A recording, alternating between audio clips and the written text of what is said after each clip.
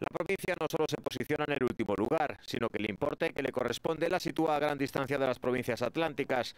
Así, la obra licitada en A Coruña alcanza los 68,4 millones de euros, cifra que cuadriplica la de Urense, mientras Pontevedra acumula en los dos primeros meses del año un importe de 93,5 millones, seis veces más que Urense. Solo Lugo tiene cifras parecidas a las ourensanas, con 13,5 millones licitados. Estos datos suponen que de cada 100 euros licitados en Galicia, Ourense recibe solamente 6,8. El Estado es la administración que más invirtió en la provincia, 9,7 millones, un 20% más que el año pasado. La Junta se sitúa en segundo lugar con obras licitadas por 2,5 millones, pero que se redujo un 5,8%.